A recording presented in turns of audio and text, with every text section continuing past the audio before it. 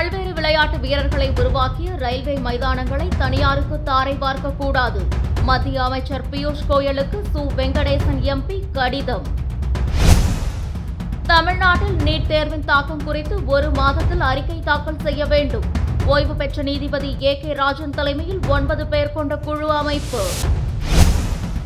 தமிழ்நாட்டில் நீட் தேர்வை ரத்து செய்ய வேண்டும். பிரதமர் மோடிக்கு அதிமுக எம்எல்ஏ ஓபிஎஸ் கடிதம்.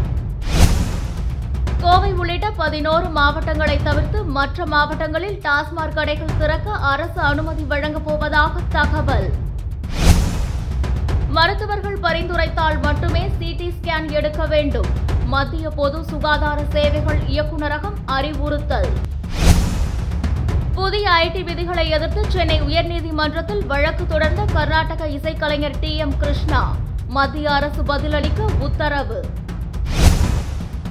தடுப்பூசிகளின் கையிருப்பை மத்திய அரசு வெளியில் சொல்லக்கூடாது என கூறினாலும் நாங்கள் மக்களுக்கு சொல்வோம். அமைச்சர் மா. சுப்பிரமணியன் திட்டவட்டம். டிக்டாக் உள்ளிட்ட எட்டு சீன செயலிகளுக்கு விதிக்கப்பட்ட தடை நீக்கம். அமெரிக்க அதிபர் ஜோ பைடன் உத்தரவு. நான் பாடுபட்டு வளர்த்த கட்சி நிச்சயம் வருவேன் சரி செய்வேன். சசிகலாவின் இருபத்தி மூன்றாவது ஆடியோ. நியூசிலாந்திற்கு எதிரான இரண்டாவது டெஸ்ட் இங்கிலாந்து அணி பேட்டிங் தேர்வு காயம் காரணமாக கேப்டன் வில்லியம்ஸ் விலகல்.